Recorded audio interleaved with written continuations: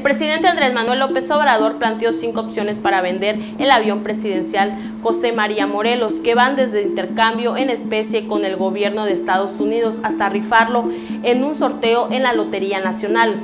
Entre las opciones planteadas, la que levantó más expectativas fue la de sortearlo con 6 millones de cachitos a un costo de 500 pesos. El quinto es una rifa, 500 pesos, 6 millones de cachitos, la Lotería Nacional se le daría al que ganara el avión ya incluidos servicios de operación de dos años o de un año, explicó el presidente en rueda de prensa en la mañana de este viernes en el Palacio Nacional.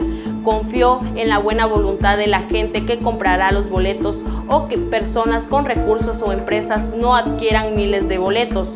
López Obrador consideró que deberían establecer reglas para vender los cachitos y condiciones para quien ganara el sorteo.